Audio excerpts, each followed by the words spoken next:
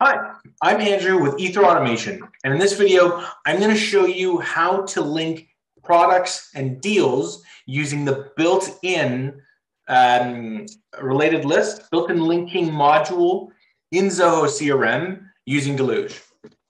Now, you remember, you, may have seen a previous video where I linked two records using a multi-select lookup. Now I'm gonna, the thing's gonna pop out here if you wanna see that video.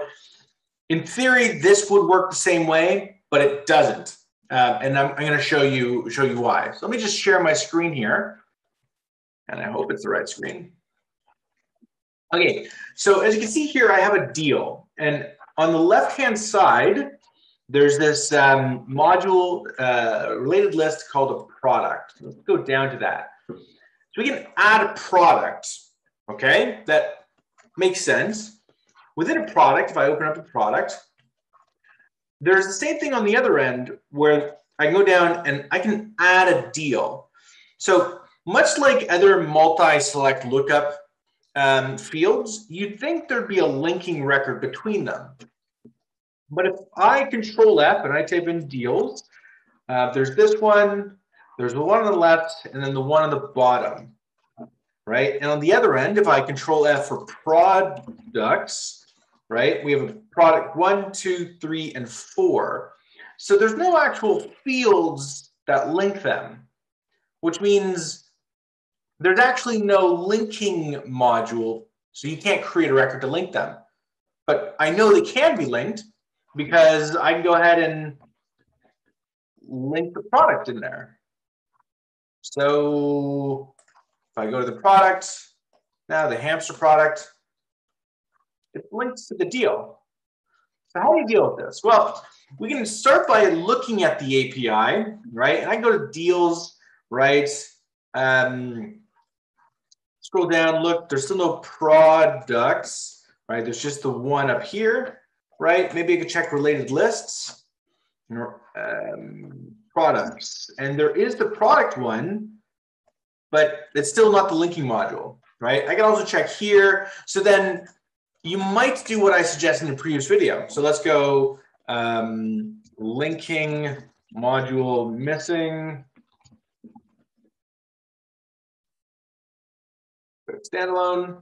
So you might do what I did in the previous video where I go to create a record, zoho.crm.create record, and then look down the list. There's actually no, like down when we go to, so there's contacts as accounts, event demos X contacts. There's no, there's no deals X products. So there is one way to do this. There's only one way, and I don't like it, but it, it is the thing. So let's go. Um, info. Let's architect this out. So let's say um, gets deal and product ID link, deal, and product. Cool, so deal ID equals, and we'll use this one. This product ID equals, and then we want to use portal supplies right here. Equals that. And then let's go info zoho.crm dots, and then you're not never going to believe this, but you need to update a record that doesn't exist exist yet. So update related record, right? The relation name um, we'll say is deals, and then this one is products. So the parent module is the product, right? And the submodule is the deal. Product, product, deal and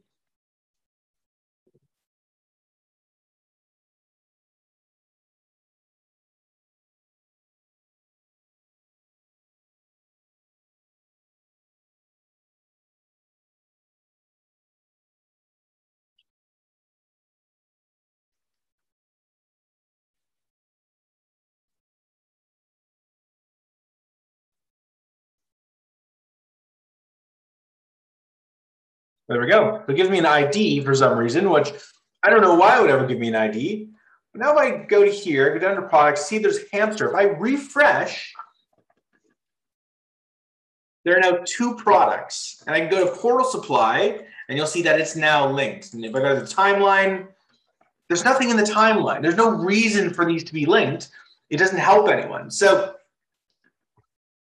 I learned this today, and so I want to make a quick video to show you in case you watched my previous video and didn't know why this this there was no linking module. I hope this is helpful.